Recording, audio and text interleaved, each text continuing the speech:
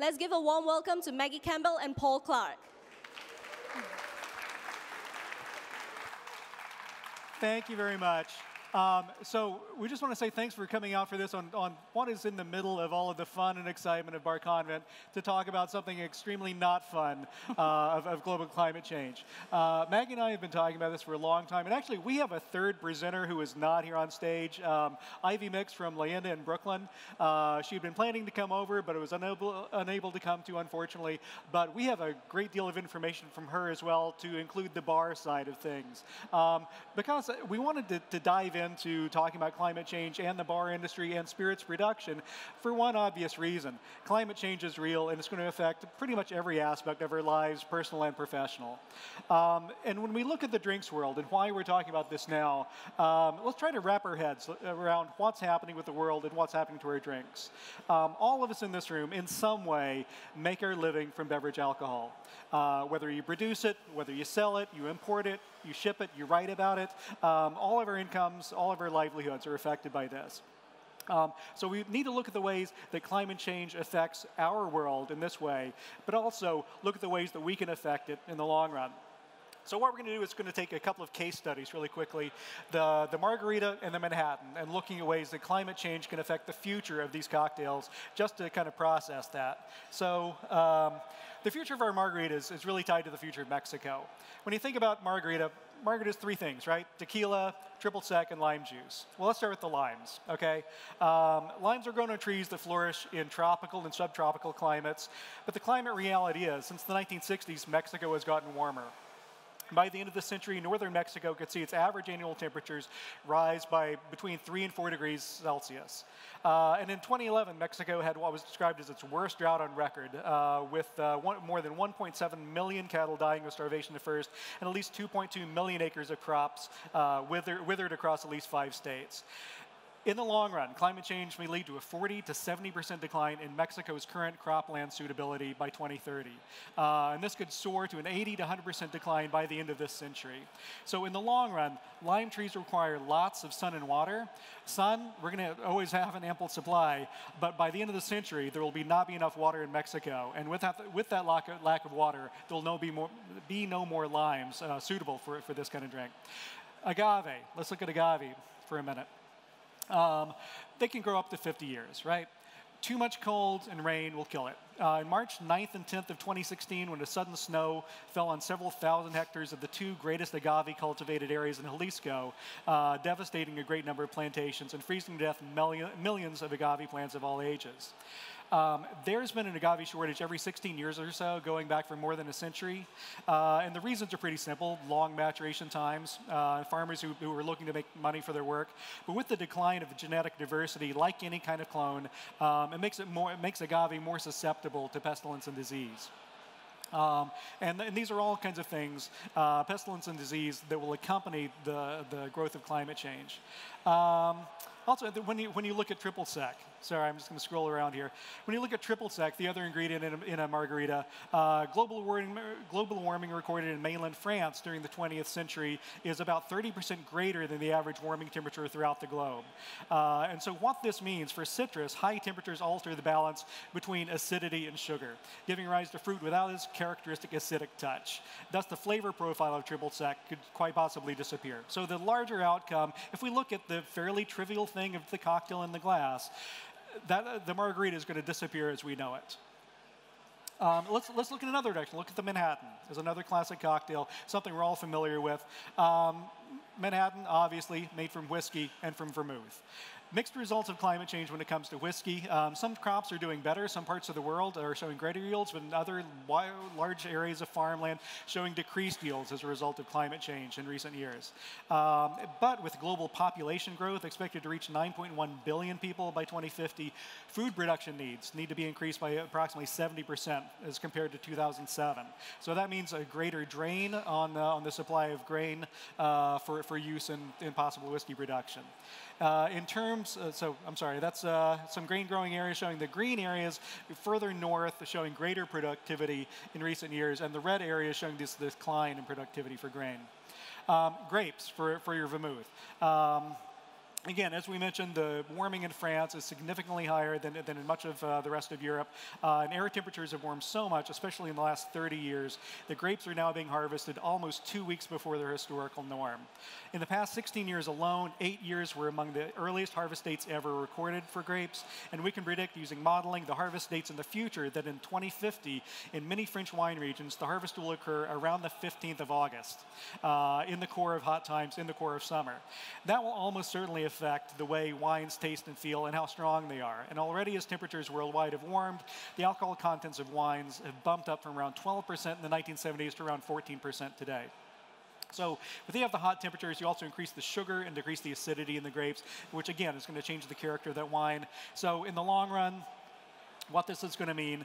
Um, grains in the U.S., corn, rye, and barley, in some places are actually showing signs of growth, but grow, growing population is going to be a longer draw, a bigger draw on that grain supply, and the character and the nature of the wines is going to change, especially as wine growing regions start to migrate to to northern, more cooler regions.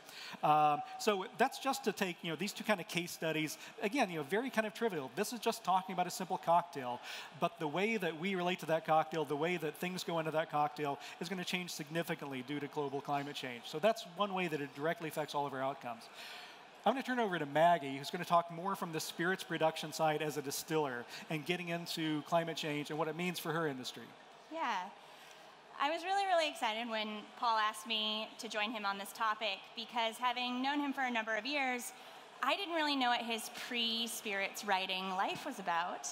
And so when I found out that he was part of a large organization doing environmental work and pushing for environmental policy all through the 1990s, um, it was really exciting to me that you know I had been like this punk rock warehouse kid, and kind of having that connection and wanting to talk about a lot of these issues. Um, was really, really cool. So I'm a spirits producer.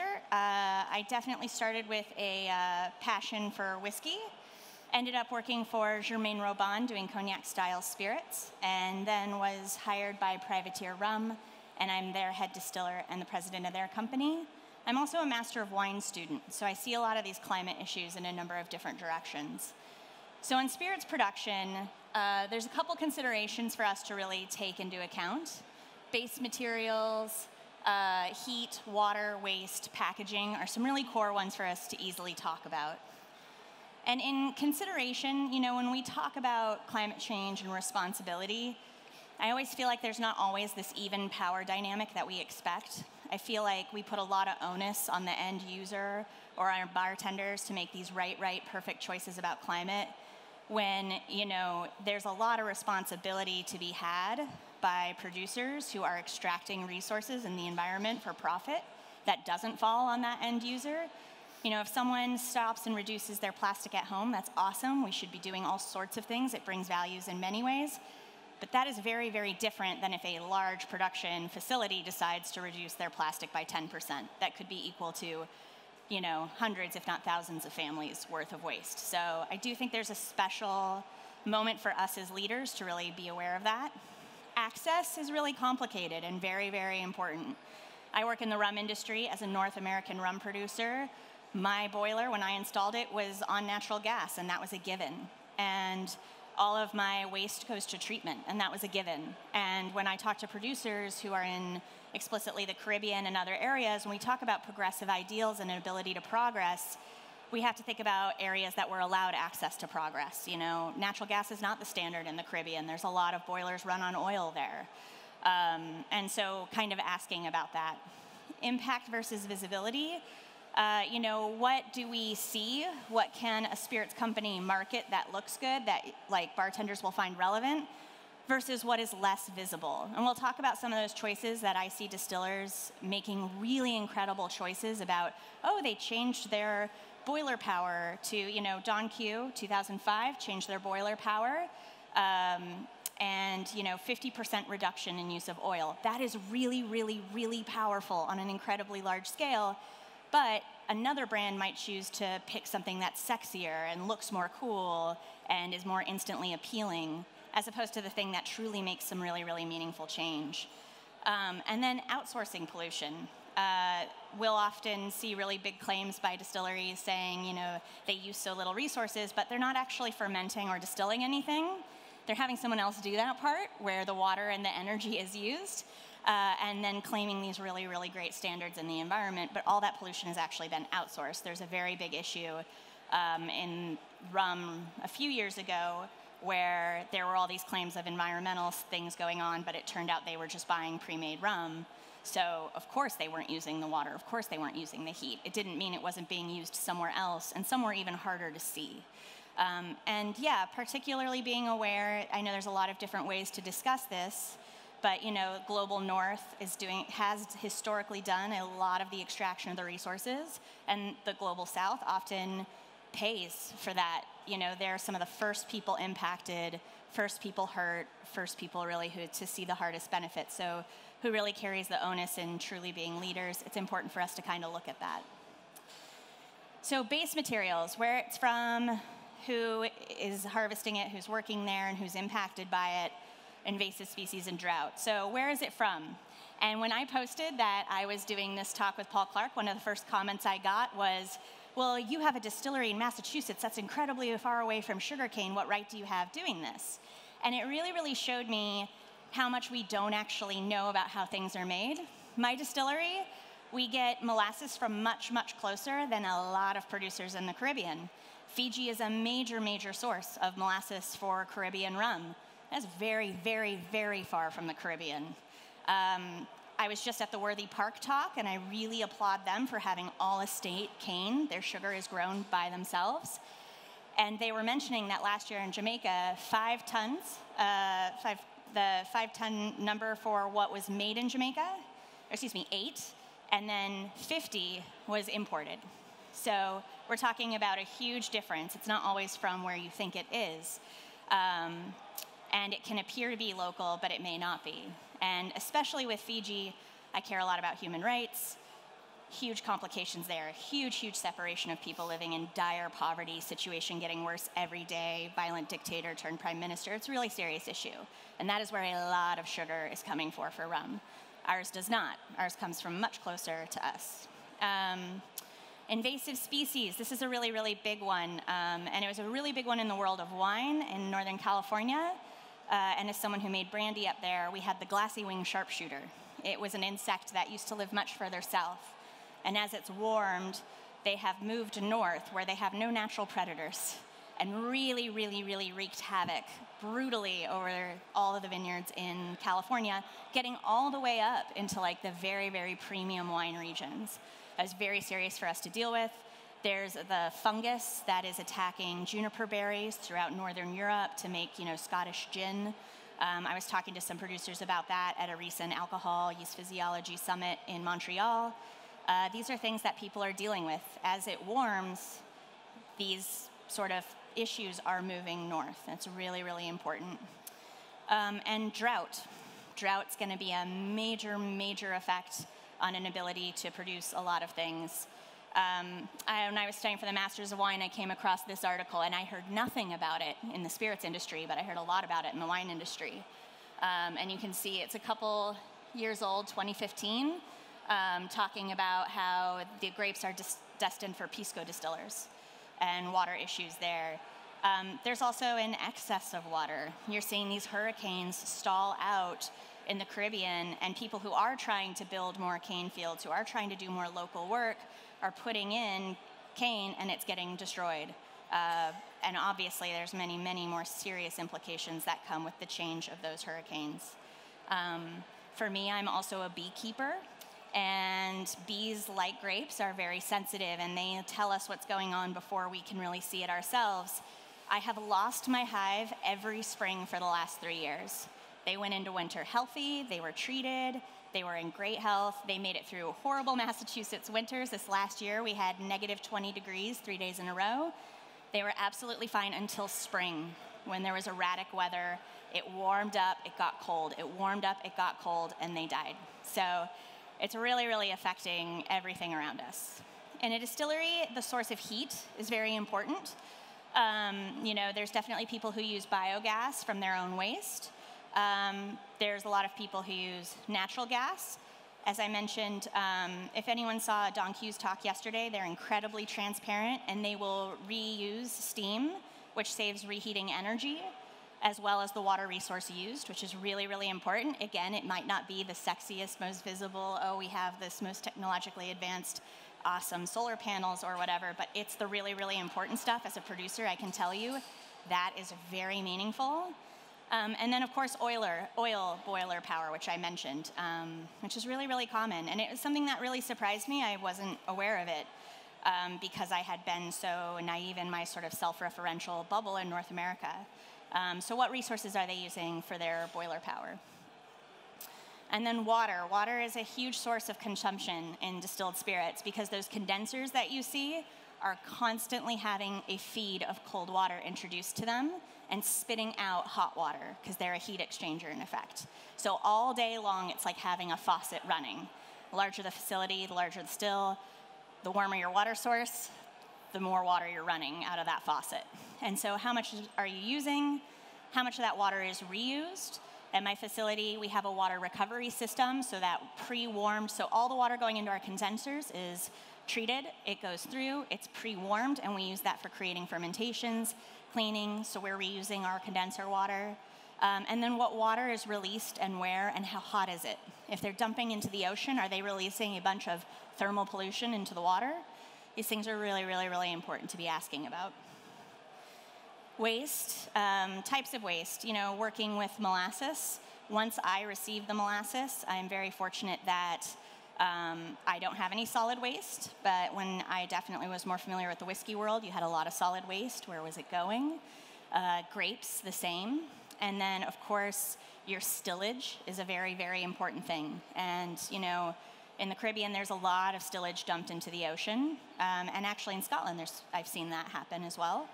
Uh, there's limitations on what and how much in some places.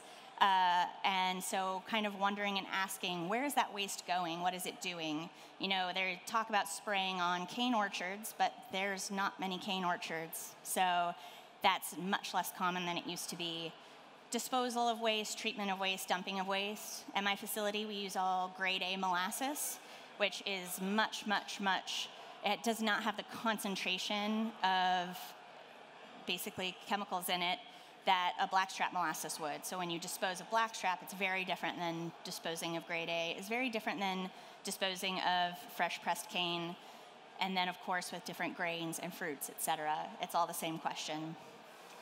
And I always like to ask people, especially when brands are making claims, I say, well, how much of it? What percent? What percent of water are you reusing? What percent of your waste are you composting? You know, uh, those are really, really important questions.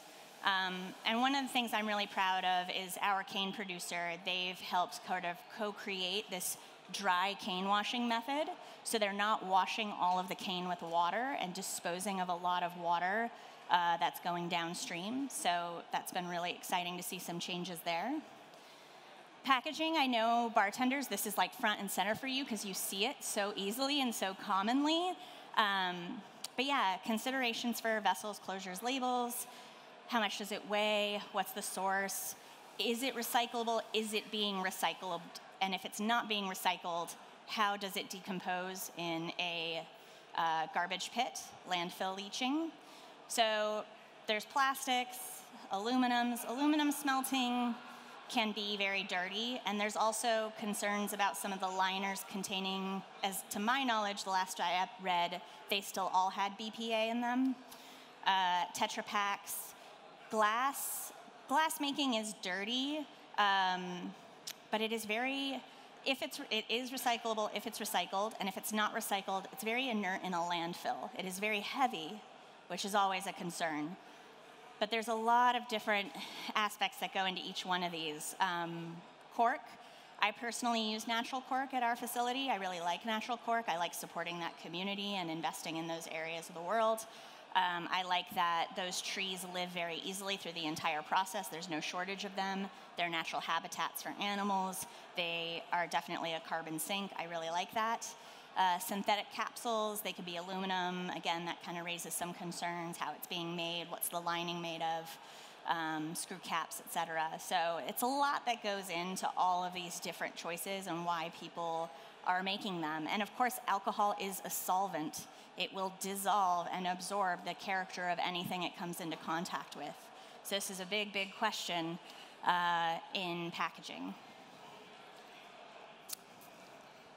Fantastic. Now, um, there's a reason we, we decided to call, call this talk climate change and not sustainability.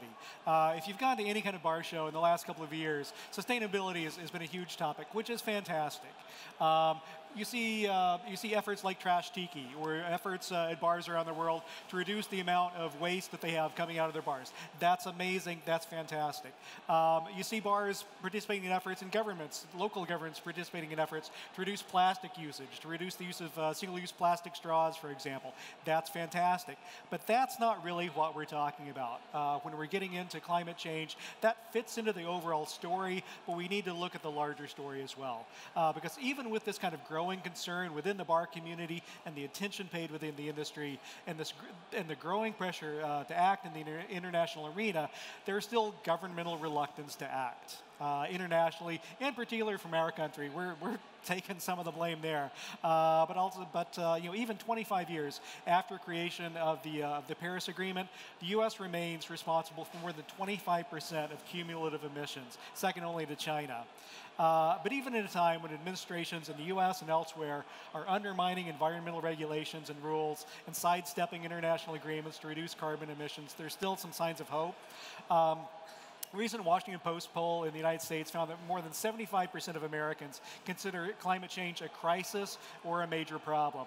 Uh, in a survey this summer in Texas, which is a top oil producing state and, and politically not a place that you would think would be very sympathetic uh, to thinking about climate change, indicated that a majority of those polled saw climate change as a problem. So while this optimism is translating into the bar world in the form of waste reduction uh, and decreasing our carbon footprint, there's still a need for engagement on this kind of political level.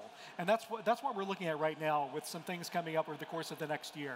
Um, this is one example uh, that we've come across. It was originally conceived of as the Sinking Manhattan Project. Uh, it's now it's kind of rebranded itself as Drink the Change. It's an effort between bartenders, uh, ocean and climate scientists, and environmental non-governmental organizations aimed at bringing the discussion of climate change into the cocktail conversation.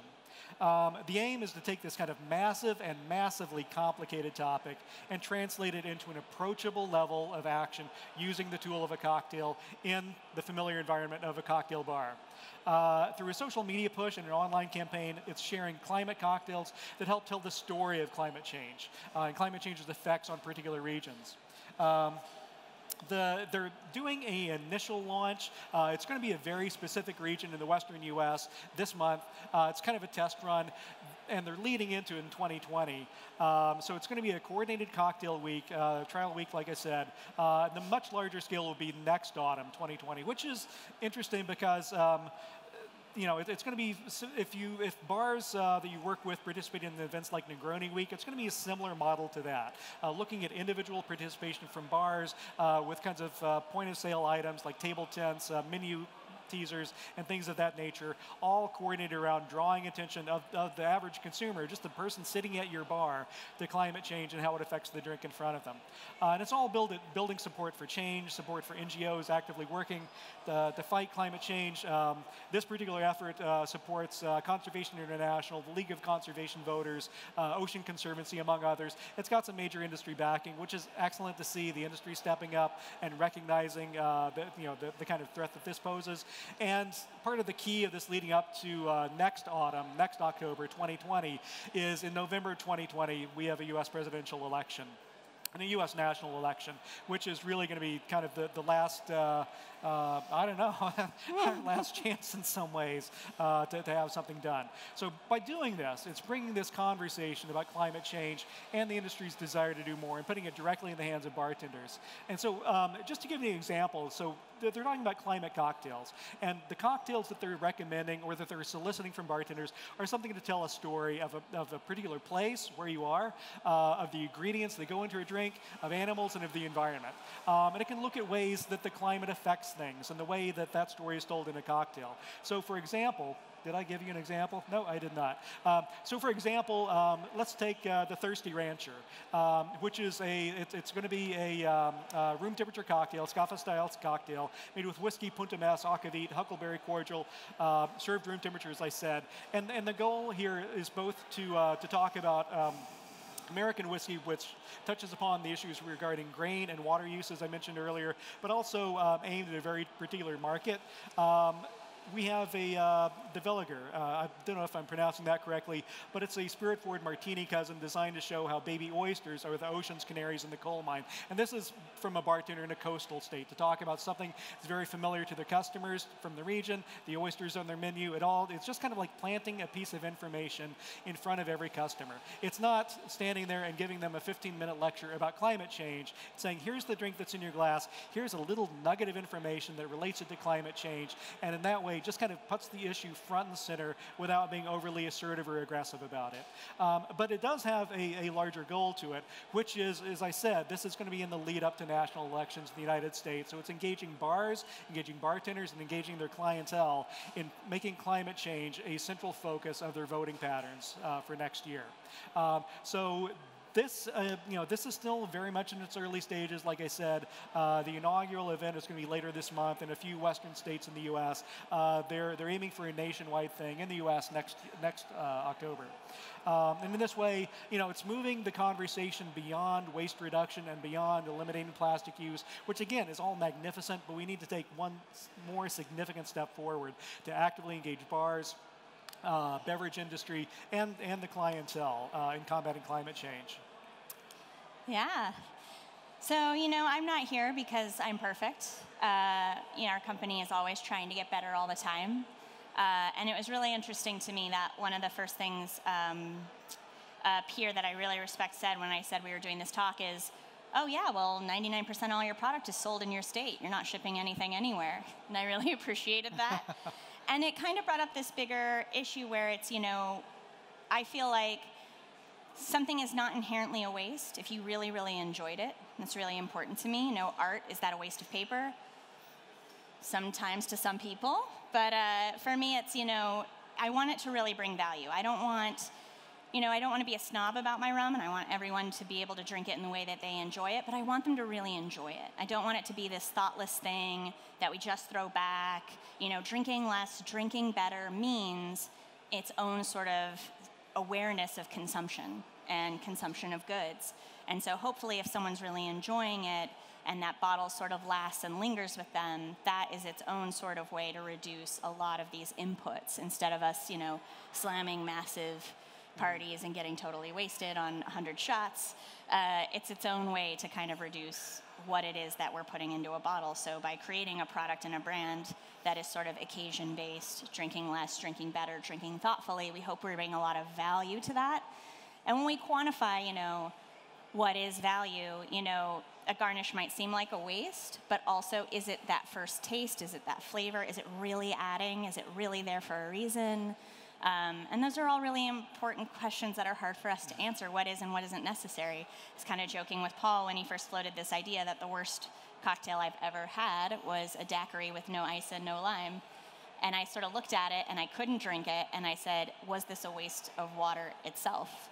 You know, is it good? Mm. Is it really, really good? So, for me, my guide for you guys on the producer side who sees where waste happens in a really meaningful way, that's not necessarily in your eyeline. These are like 10 questions you can ask.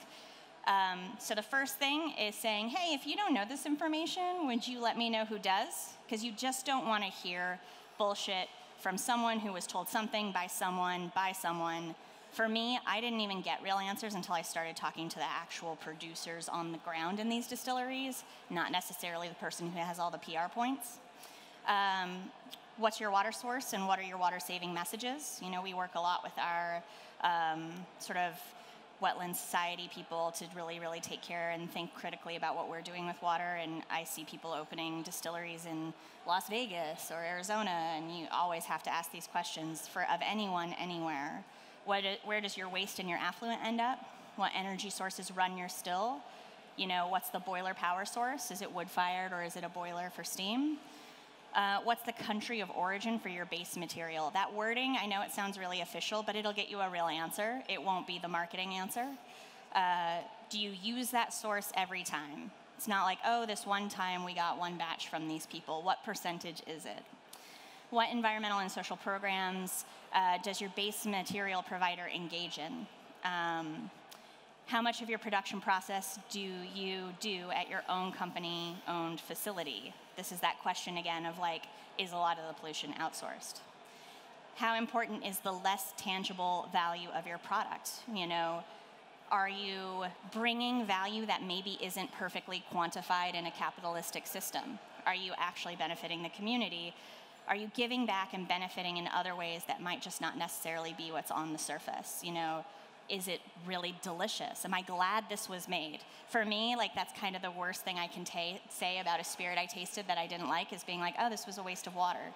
Was it a waste of water? Does it need to exist? Why are we doing it? Um, you know, and what are your current active plans to address climate change?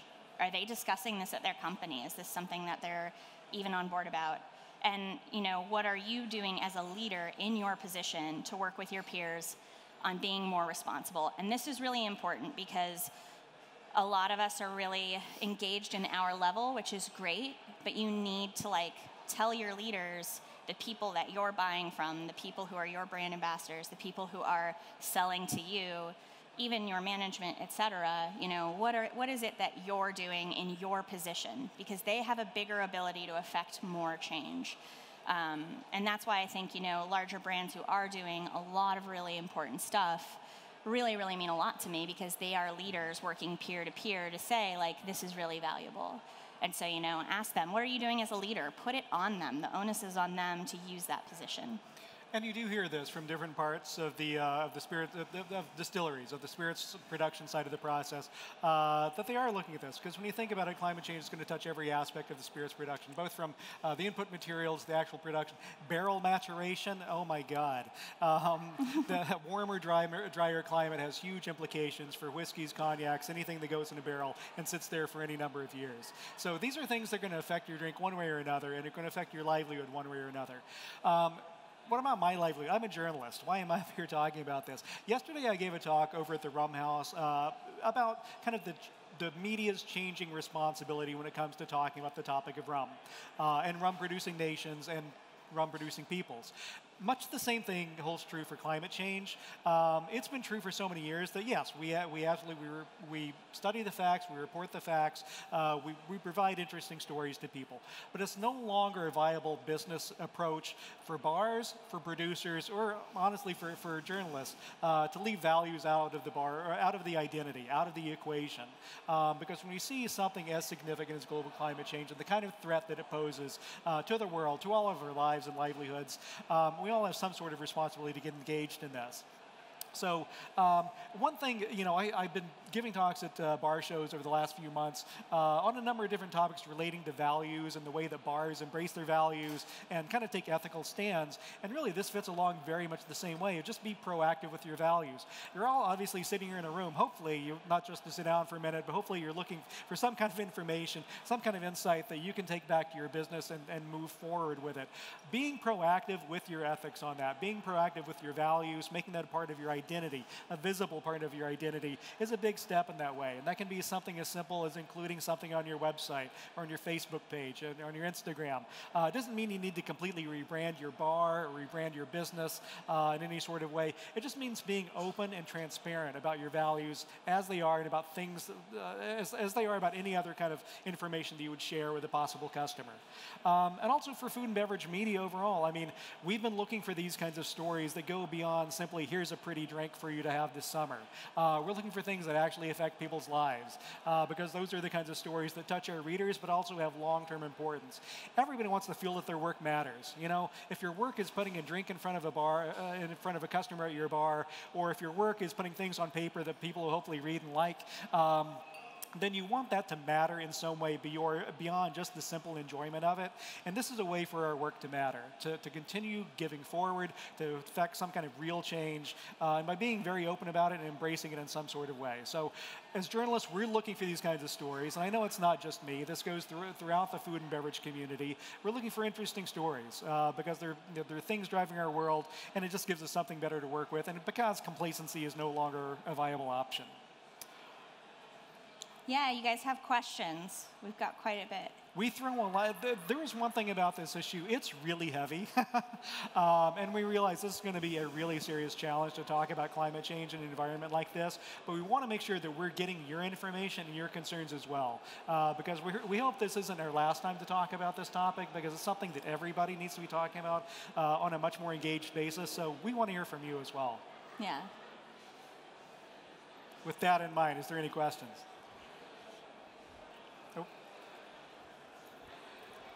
Coming with the microphone. hey guys, great job. What what is it that you think we can actually do, both as uh, consumers, bar owners, uh, suppliers? I realize that it's a lot of tiers there, but what are the various things that you think that at least everyone's listening here who's going to go and order drinks somewhere um, or have a party or have a birthday or something over the next couple months, what are the things that we can start to do immediately? For me, the number one thing that I can do tomorrow is think about, you know, that value. Is this, if I'm gonna have a birthday party, what am I gonna serve? And what is, do I need a ton of junk that a bunch of people are just gonna thoughtlessly consume?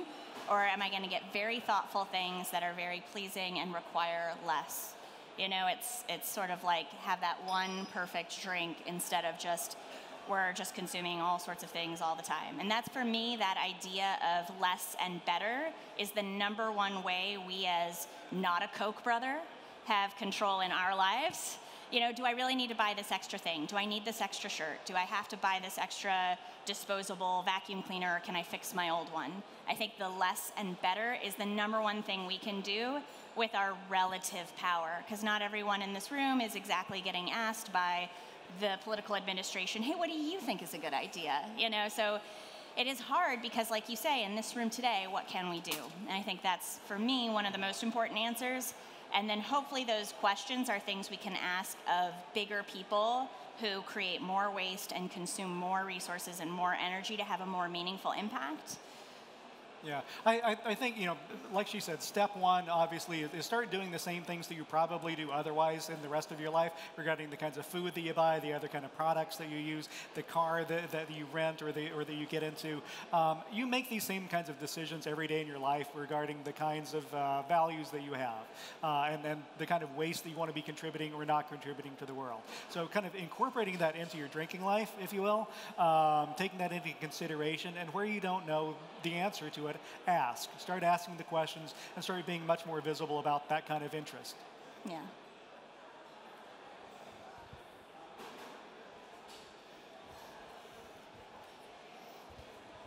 To respond to your question is that maybe you should put at least one product per segment on the menu card which is sustainable. That's easy to offer something to the customers. Yeah, and the question of, you know, finding out which brands are sustainable, uh, you know, Montanya Rum is B Corp certified. That's great. Uh, things like that, but featuring that you find that valuable and important. Um, brands and producers, it's a strange power dynamic, but if you can show them, hey, we'll reward you if you do this thing, that can be one of the better motivations for them. They want to feel like good guys. Um, we all do. questions? I Saw a question over yeah. here somewhere. If not, no worries. Mm, no? Any more? Yeah. Oh, there we go. A couple more. Um, I'm not really sure so much how to word this, so it may not necessarily be a question, but one thing I'm really, uh, that goes through my mind on a daily basis, because I'm, I'm based in Manchester in the UK, is to kind of like try and push more of like a, a supportive network for people who are taking small steps because um, I'm, I'm, sure most people can agree that there can be um, approaches where people feel a little bit like intimidated. I'm not doing as much as those people, and you get a little bit frowned upon. Like, really? Like, yeah, man, you know, you have to drop a little bit of blue, blue roll in the bin from time to time, you know? That Yeah. happens. Um, but yeah, that support network, I guess, is generally just a statement, like for people who know people and help support. And I, I'm trying to reach out to local brands and, and, and people as well who have seminars to actually visit bars and help smaller and independent bars create programs and like revisit that every three months and say, did you hit those like five or six marks? Cool. Where do we build from there? And you know, do you guys Yeah. agree? Like, Yeah. I totally agree. It doesn't have to be high stakes all the time. Like any of this new sort of modern work, social issues, etc. It doesn't have to be huge high stakes. It can be smaller things. And I really like what you said about going back and checking in because you might think you have the greatest of intentions, but if you are not measuring and logging, you do not know the impact you are having. And that's really, really important because we think we're doing our so great, and then the actual intent versus impact is very, very different. Yeah. But yeah, it doesn't have to be high stakes work. It can be small steps. Those steps can be rewarded. And I know one of the harder things is selling it to people higher up. And I think one of the most effective things you can do is just have separate bins.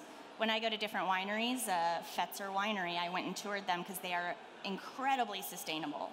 And they just have all sorts of different bins for all different wastes. We can reuse this cork, we can reuse this, we can't use this, etc. Just that sorting of bins has had a huge, huge impact. And they're like, it seems like this big, huge, complicated, I have to change everything about what I do, but you don't. And it was really interesting when the conversations I had, they said that when they felt like they had to do this big, huge, dramatic overhaul, they came to realize that was really about centering themselves and making it about themselves and who they were and putting on a big show and the stuff that actually mattered did not have to do with centering themselves and that's kind of what i was saying earlier about brands who might do really important changes that aren't the most marketable but then people are touting the marketable ones when actually some of the deeper issues are much bigger so i really like that point. And actually, I, I mean, on the topic of providing support and sharing that kind of information and, and giving each other tools to work with, uh, I mean, we live in a wonderful time now where uh, between Bar Guild chapters, you can actually make this part of the regular conversation, at regular meetings or in your Facebook group, uh, whatever it, however it is that that group uh, keeps in contact, making this a part of the regular identity, making this part of the regular conversation, and that kind of brings the powers of numbers when you go to a producer and you start asking these harder questions about production models, transportation models, you have the power of numbers. Uh, so, yeah, b- b- Yeah. work with, work with your uh, your fellow bartenders uh, and your bar guilds and your your and, local groups. Yeah. And for me, it's sort of still that punk rock kid. It's always important to me, like, where's that company's money going? Is it locally owned and operated, or are they funneling their profit out of that country? Do they care what happens there? I think that's a really quick way to realize how invested they are. Uh, So,